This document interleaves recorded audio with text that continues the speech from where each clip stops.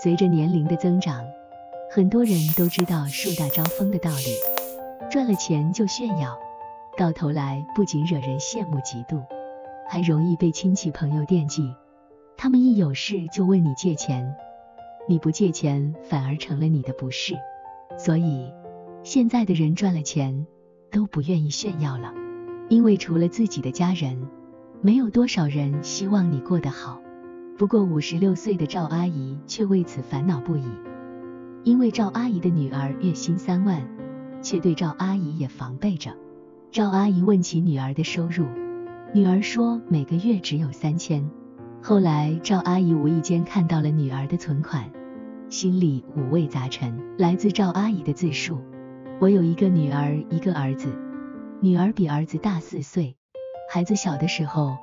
我和丈夫在镇上做点小生意，虽然赚的不多，但是起早贪黑比较忙，所以儿子出生后，基本上都是女儿帮忙带他。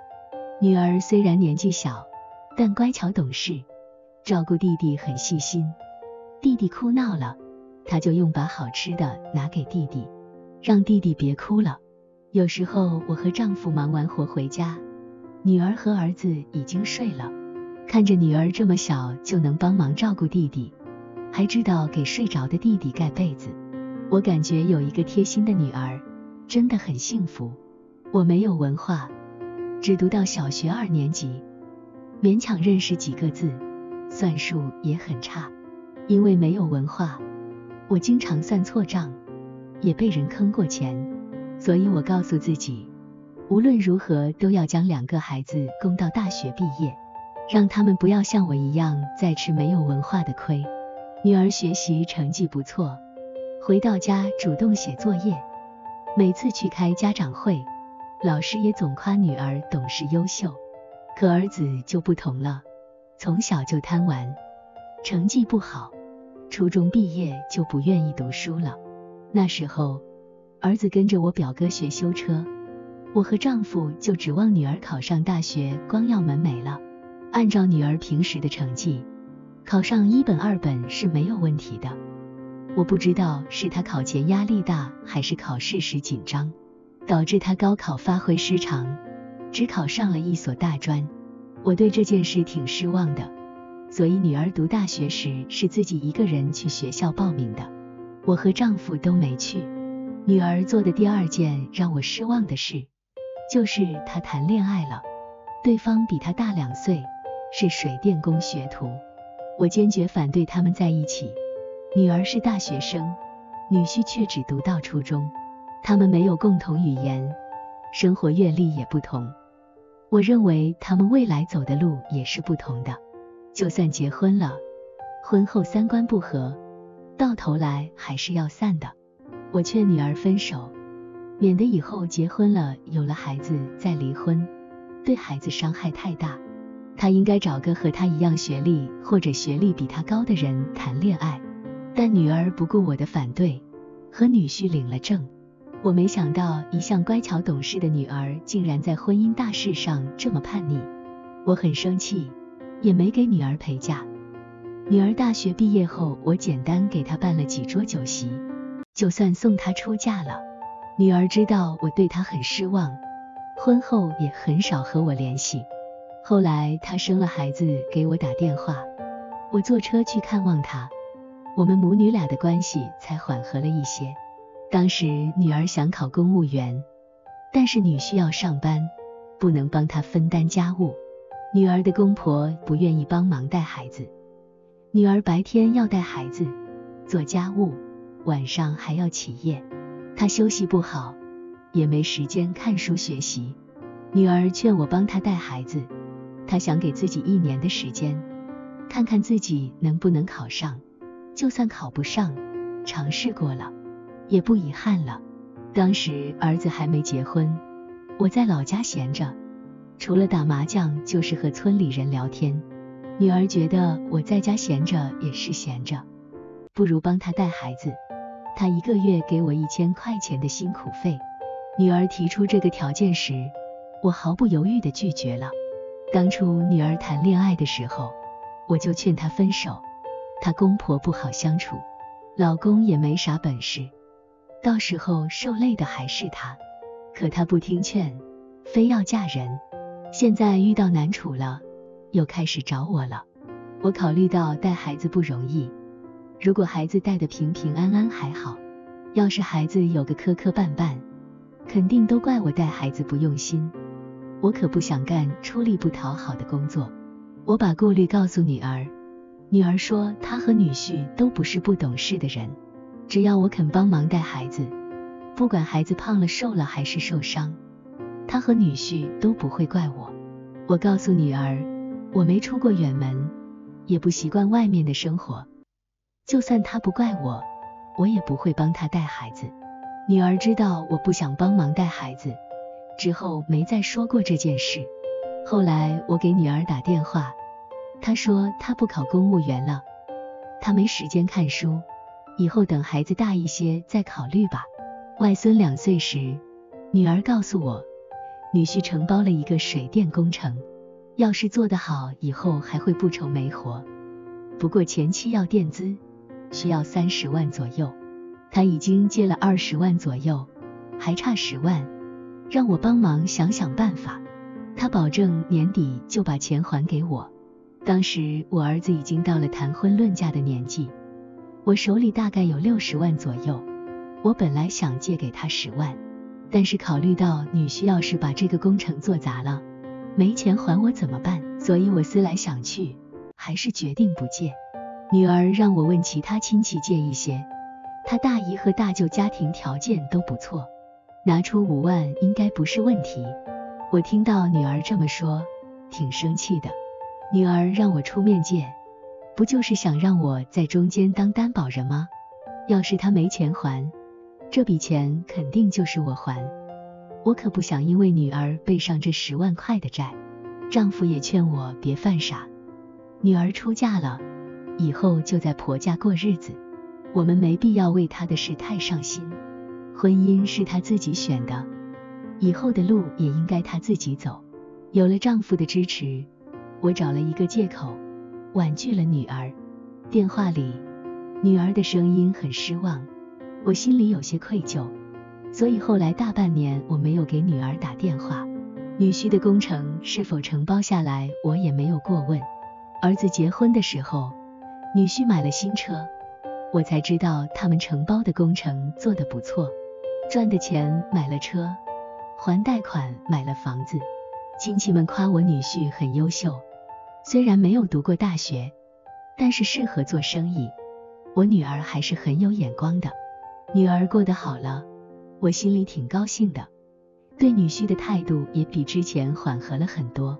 女儿的婆家离我家有七八个小时的路程，比较远，女儿又晕车，所以即便他们买了车，除了逢年过节，平时也不回来。我想女儿了，就给她打电话，不过女儿比较忙，打电话很少接。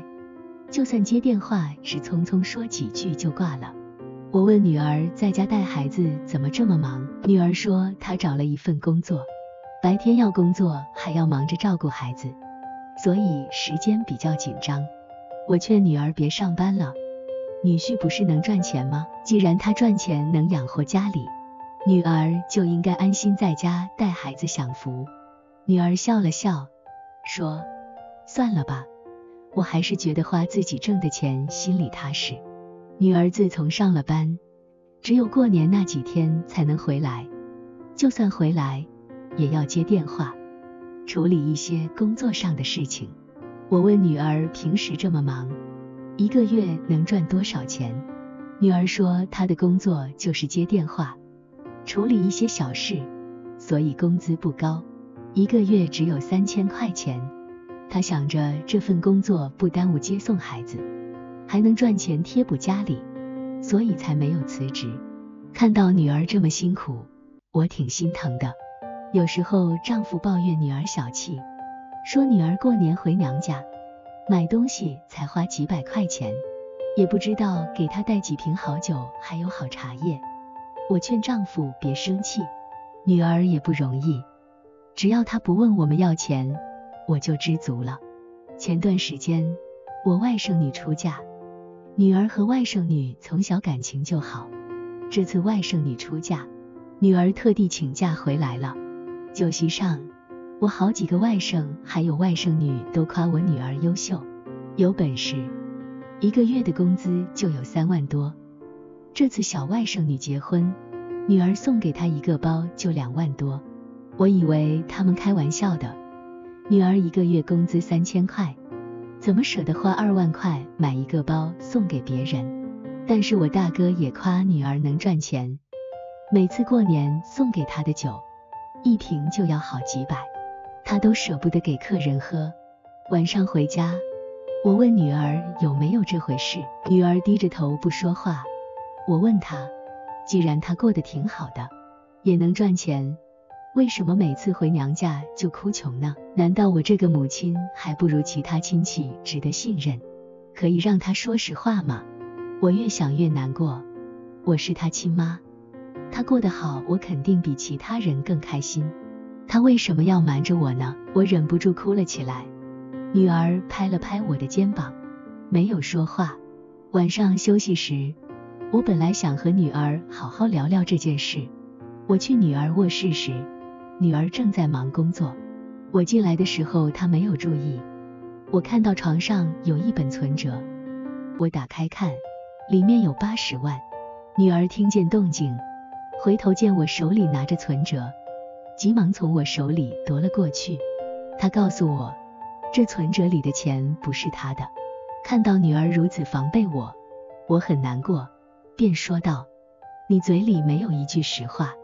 你放心，我也不稀罕花你的钱，你没必要藏着掖着。”女儿知道我话里有话，她哭着说：“是我和丈夫先寒了她的心。”当初她想考公务员，我宁愿在家闲着，也不愿意帮他看孩子。女婿做生意需要钱，他知道我有钱，可我却一分钱都没借。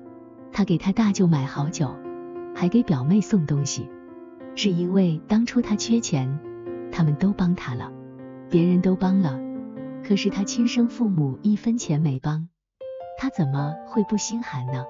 他和女婿赚了钱以后。本来想告诉我们的，可她每次回娘家，丈夫总嫌弃她买的东西少，不舍得花钱，而且他们每次回来，我和丈夫从来没给过孩子零花钱。既然我们舍不得给他花钱，他自然也舍不得给我们花钱了。他在我面前哭穷，也是因为我和丈夫在意钱多过在意他。我和丈夫知道女婿赚了钱后。就问女婿借钱给我儿子买车，女婿没借，我们俩就对他们没有好脸色。后来丈夫喝多了，对女婿说：“早知道你当初承包工程能赚钱，我就借给你钱了，这样你以后欠我人情，肯定会买更多东西。”这些话，女婿学给女儿的时候，女儿心里很是难过。女儿想到这些年我们对她的态度。觉得亲情也不过如此，为了守住口袋里的钱，为了他的小家庭好，所以他才不肯说实话。听到女儿的心里话，我还是很失落的。我和丈夫把她拉扯大，供她读书，她过得好了，报答我们不是应该的吗？有的父母偏心，根本不舍得花钱让女儿读书。我认为作为父母。我和丈夫还算合格的，不过现在看来，我们母女之间的隔阂已经无法消除了。我不怪女儿，她成家了，首先考虑自己小家庭的利益也是正常的。我也不会怪我自己，我将她拉扯长大，供她读书，也算尽到了父母的职责。以后我们就各自顾好各自的小家，就当亲戚一样来往吧。